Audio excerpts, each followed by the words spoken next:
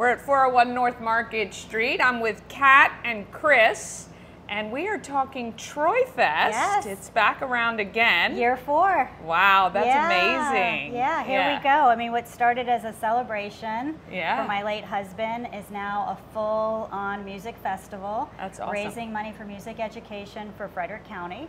Yeah. And this year is bigger and better than ever. We have some great things. Um, Liquidity Ale Works of Mount Airy and Old Mother, which is just two, a few blocks up here. Yeah. Old Mother Brewery just started brewing our beer in honor of Troy called All for Troy. Okay. F O R E. He was a golfer. Okay. And that'll be ready August 28th. Very Our nice. event is a week later, uh, about a week later on September 7th at the AmVets post to the farm, right near Tree Trekkers. Yeah. And that's a huge venue. It has a huge covered pavilion, lots of parking.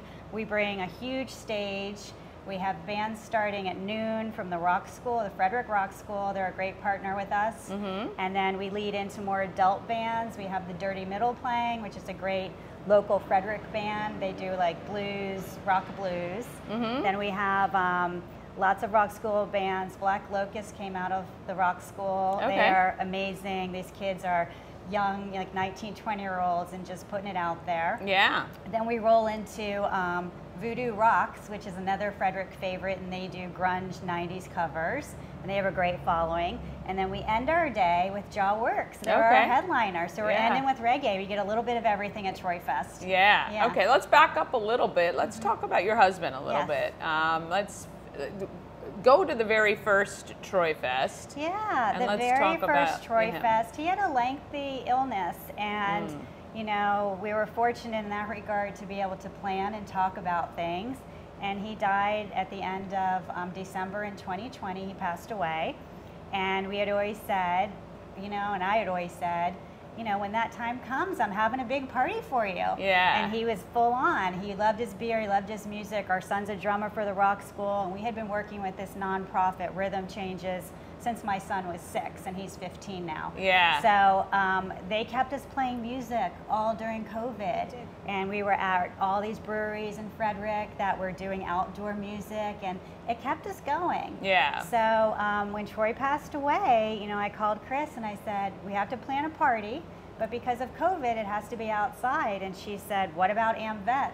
Mm. You know, the farm. He loved it there. We did shows with the Rock School there. Okay. And with Rhythm Changes. Yep. And it was it was perfect.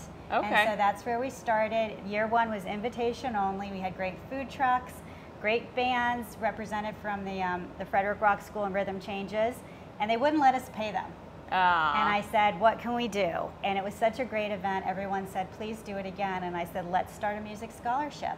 So we started the music scholarship in Troy's name, and it Mm. can be found at rhythmchanges.org, Troy Suddeth Music Scholarship. Yep. And um, we started the scholarship in year two. We started adding some sponsors.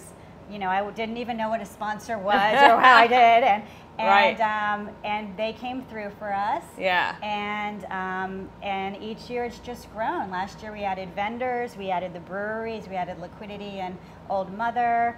Um, what else did we add last year? Games. We just made it a real festival. Right. Yeah. Right, yeah. So this is year four, and what was nice during the event last year, people came up to me and said, "How can we be a part of this next year?" Oh, cool. Billy and Keith from the brewery said, "We want to make you a beer." Oh, very so nice. sponsors came to us this Yeah. year. Yeah, and Um, so when yeah. they make the beer, what does that mean? Do they sell it here at Old Mother, or are you just having it at the event? Um, probably both. Okay. Yeah, they will be selling it on tap at the event, but you can also buy it in Cases. in cases. You Or know, in probably four packs, Four packs. however they're gonna, Yeah. you know, put it together. But yeah, the beer will be be ready to go, and um, it has a link on the label for rhythmchanges.org, so people Awesome. can learn more about what we do. I mean, we really do keep kids playing music. Yep. And the goal of Troy Fest and what we added this year is to help pay for music lessons, music camps, um, if someone needs an instrument. So we this year we added the college scholarship. Very nice. And the applications were due August 1st. Yeah. And we're reviewing them now, and we'll present the first recipient of the Troy, Troy Suddeth Music Scholarship this year at the event. so this will be the first the one first you've given. presented yeah. in public. Nice. Yeah, we've been giving money to help Yeah. pay for things quietly. Yes. Um, for families in need, but this is the first. You know, this was like every year. What do you want to do with it? I'm like, I want to give back to college money. Yeah. It's so expensive to It get is, those kids yeah. out there.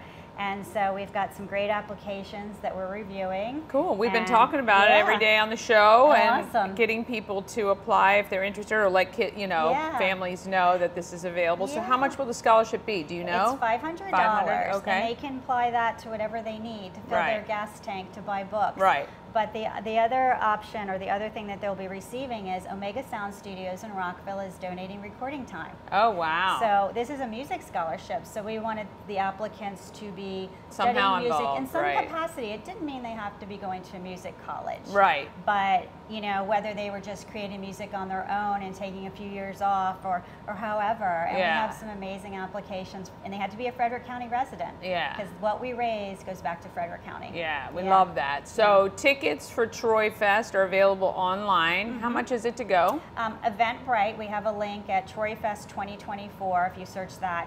Right now, tickets online are $10. So Okay. that's a discount. At the gate, it'll be 15 Okay. So you make a savings. But we also have a four pack that you can buy right now online for $30 plus, of course, fees. So I think it comes Yeah. out to 33 for four tickets. Okay. So that's a deal. It is a deal. Yeah, we want to make it, you know, a family-friendly day as far as what they experience, but also in their wallets. Yeah, You know, to yeah. walk through the gate and spend sixty dollars before you've even bought a drink. Right. Or played a game or, or bought a T-shirt. Right, Yeah. So right. and um, that was really important to me. Yeah, well, buy those tickets at a discount. Take that extra money, take it to Troy Fest because there's going to be a lot of ways for you guys to continue to give back to Rhythm Changes. We did interview uh, Brandon Yes. uh, earlier, you know, when the show started, and um, yeah, I think it's a it's a great uh, great opportunity for people to give back. We really keep kids playing music too. And with Frederick County, you know, fighting to, to keep music in schools, Mm. we're all with that too because after school, you know, kids want to do sports, they want to take lessons, and that's always the first thing off the table Yeah. when people have to cut back on expenses. Sure, And yeah. everything's, you know, crazy expensive these days. It is. So it yeah, is. we're all about just helping out the community and giving back. We have great vendors. Um, who are the food trucks this year? We have Blues Pizza, we have Smitty's Barbecue, Okay. and we have Pita King. Okay. Yeah, so a nice right. variety All for are everybody. very anxious to come and work with us, and we're excited about that. What was the attendance last year? Do you know? Last year we had over 500 throughout the day. Nice. You know, the capacity of the venue is probably 660-ish. Okay. But people come and go all Sure. day because you know the kids bands are playing, so families will come and spend a few hours, and then as the night goes on, you know, with the more prominent bands, Sure. people come from as far as I had a gentleman call me from Baltimore the other day, and he said, "I love Jah Works, and I saw Troy Fest." On their event schedule, and my daughter's name is Troy. Oh, wow. and I told him about it, and he's like, "I'm coming. Oh, this is very great." cool. So Yeah. that feedback, I think, keeps us going.